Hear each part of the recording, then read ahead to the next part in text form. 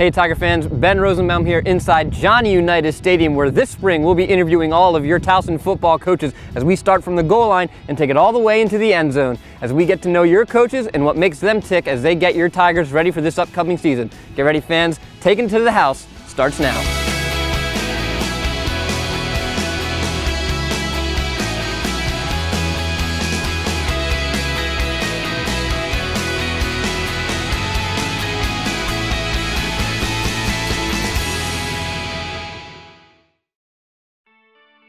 All right, Coach Rob Ambrose, we're out here. Beautiful day at Towson University inside Johnny Unitas Stadium on Minnegan Field. Let's go for a little walk. Let's do it. So you played here. Obviously you coach here. Mm -hmm. When you come out into Unitas Stadium, whether it's practice, a game day, what goes through your head? Mm, different, different thoughts for different days. On practice days, if you look around, like from the distance from the building to the sidelines, I usually carry all the weight of whatever's going on during the day.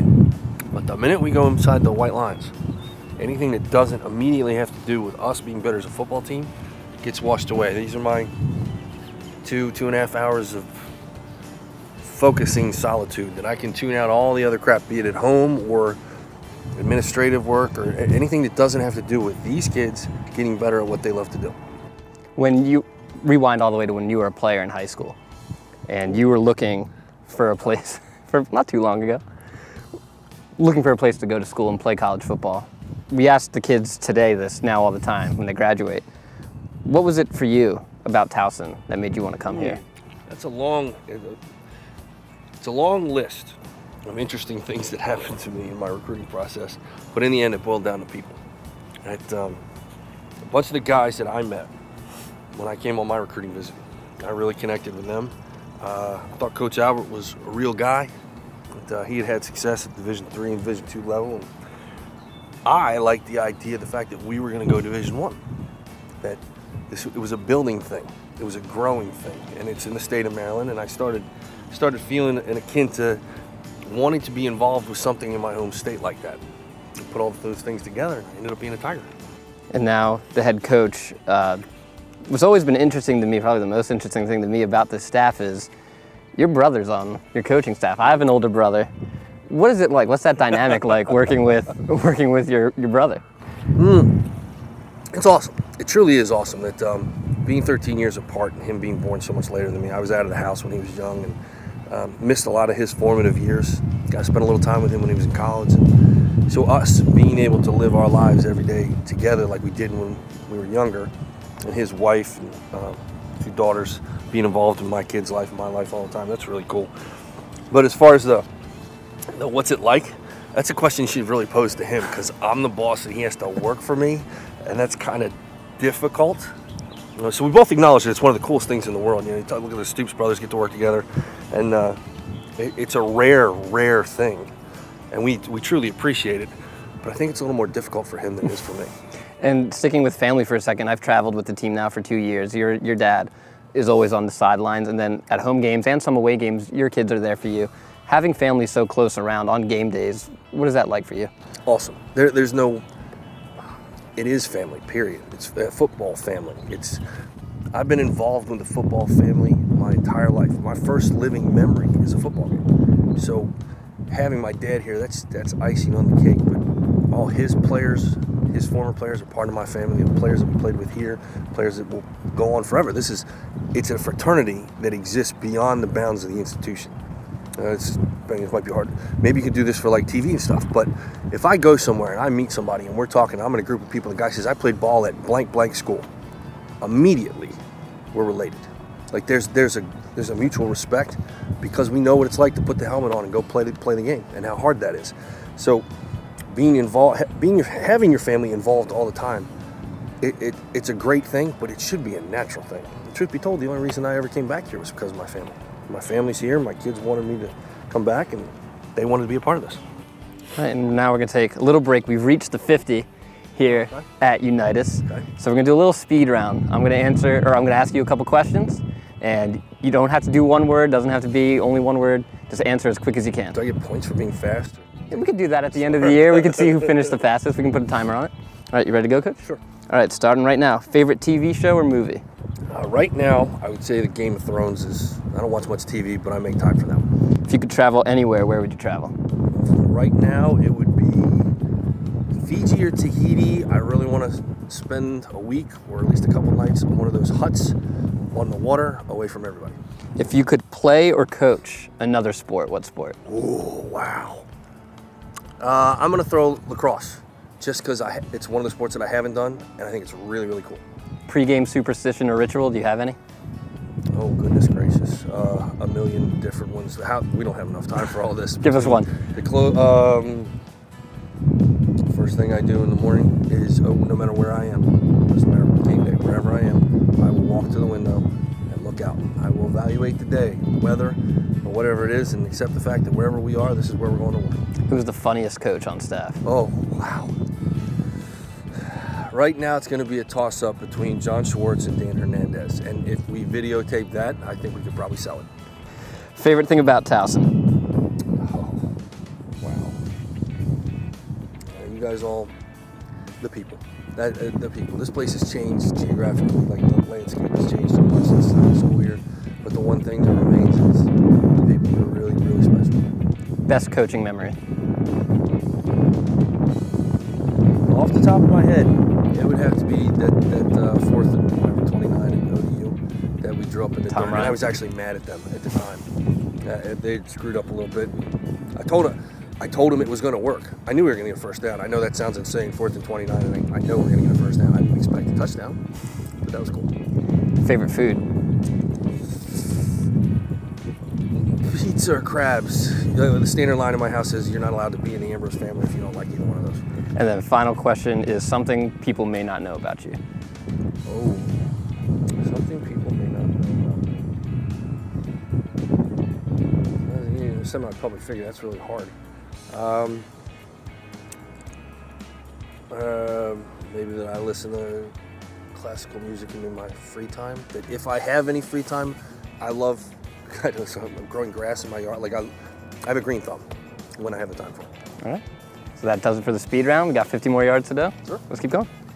So, sticking with your coaching staff and Towson as a family, you've got a couple of Towson alums on this staff. In addition to yourself, Coach uh, Kosmakos, uh, your new running backs coach, uh, Scott Van Zyl. Van Zyl, and Coach Donatelli also has an undergrad degree from here, as well as his one from Frostburg.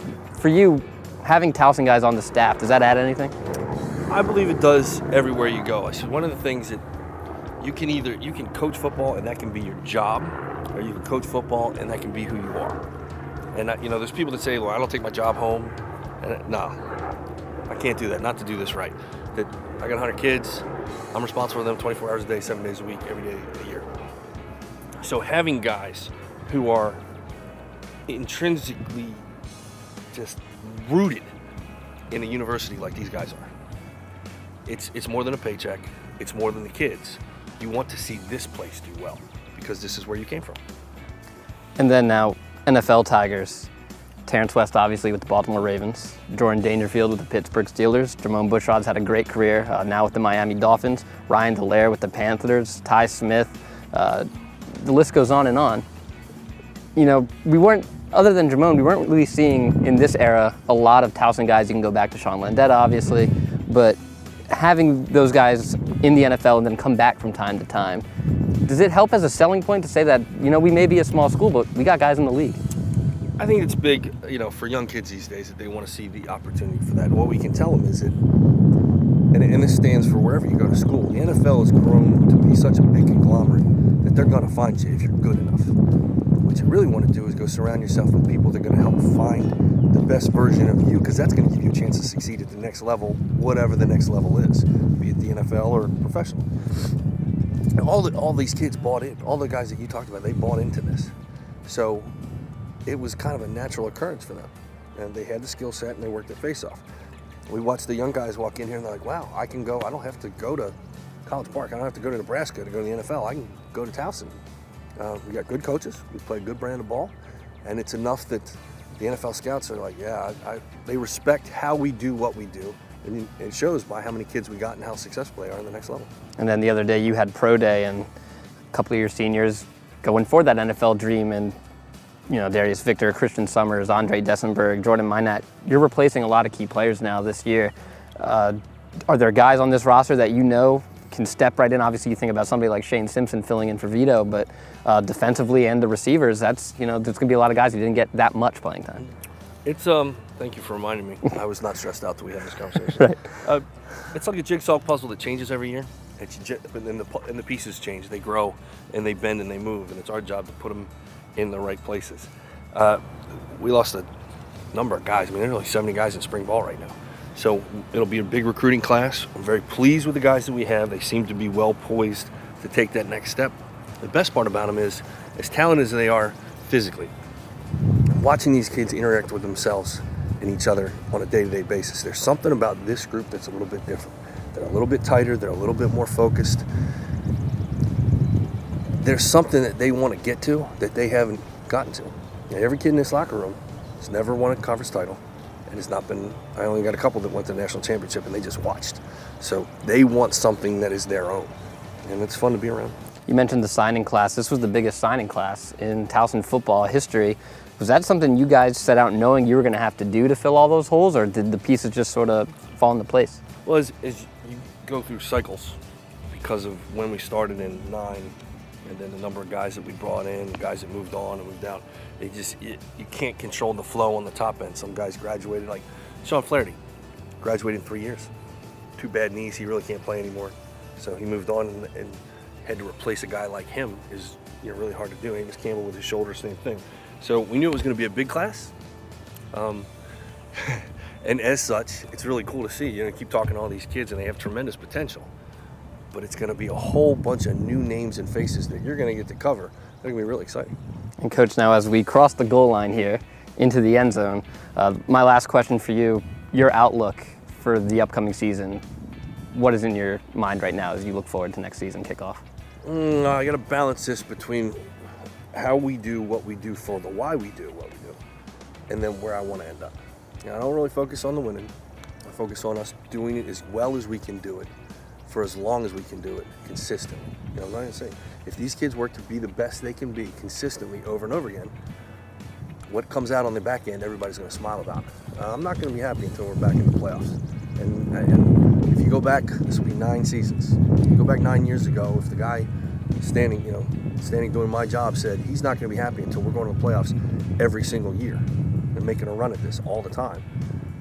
Everybody watching this would have said you're nuts. It's a different time. It's a different. It's a different decade, and things are different. My expectations are that that's we have the ability here, as long as everyone involved keeps the focus and keeps this train moving forward. That there's no reason why we can't be New Hampshire, James Madison, and that we are constantly in the playoffs every year, and then we're making a run. You excited? I may be antihistamine up and stuff, but uh, yeah, I don't. I don't get up any day with a frown on my face. I don't care what the weather is. I get to come here. I get to work with these young people, and I get to be a part of the place that made me. All right, Coach, thanks for joining us for 100 yards here. And before we let you go, what would be a touchdown without a touchdown celebration? So, that being said, got a football here. I'll hold your mug. Mm-hmm. You can do whatever you want. You can do a dance. You can do a spike. It's your show. I have, I have done this before. I have scored a touchdown once or two, one or two times in my life, and uh, I always found it. It was the compilation of a goal. Like you, you want, you built something to get somewhere, and you finally got somewhere. And I always thought you, that you could freak out and act like it's the first time you ever. For all you people out there watching, remember the first time you ever did blank? Yeah, insert that word there. Okay. I like the idea of actually actually acting like you've been there before. I think it's a little more disheartening to the defense. They don't really care about your celebration. But when you walk up to the ref and you hand him the ball and you walk away and you look at those guys like, yeah, I've been here before and I'm coming back, tends to leave a mark. So that would be my statement. Here you go, ref. Thanks. All right, so that'll do it for us here today inside Johnny Unitas Stadium. For Coach Rob Ambrose, I'm Ben Rosenbaum. We'll see you next time, and as always, go Tigers.